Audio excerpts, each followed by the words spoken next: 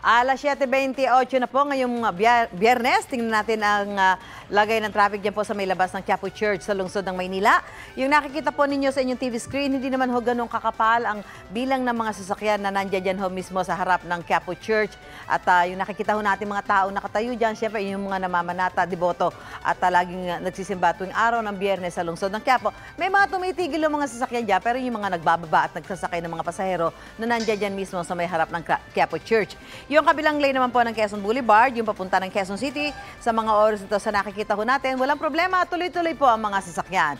Tingnan naman natin dito sa may bahagi ng EDSA Kamuning, yung kaliwa, papunta ho ng monumento at tuloy-tuloy, papunta naman ng Makati, yung nasa kanan at uh, bagamat medyo malabo-labo yung ating nakikita sa TV screen, nakikita naman ho natin na hindi ho ganun kakapal at tuloy-tuloy ho ang uh, daloy ng mga sasakyan, yung mga motorista natin, eh wala pa hong problema sa magkabilang panig po ng uh, Kamuning EDSA sa mga oras na ito. Tingnan natin ang Espanya Boulevard at Lacson Avenue intersection.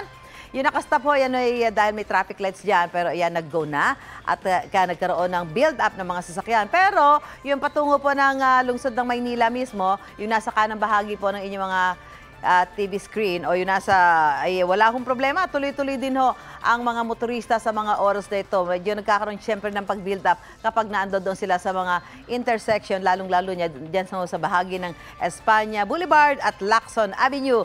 Tingnan natin sa Marcos Highway.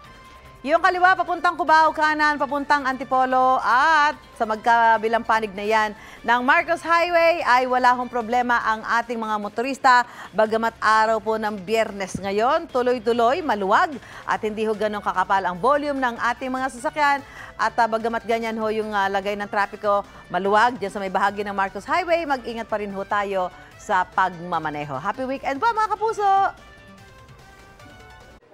Kapuso, mauna ka sa mga balita. Panoorin ang unang balita sa unang hirit at iba pang award-winning newscast sa youtube.com slash News. I-click lang ang subscribe button. Sa mga kapuso naman abroad, maaari kaming masubaybayan sa GMA Pinoy TV at www.gmanews.tv.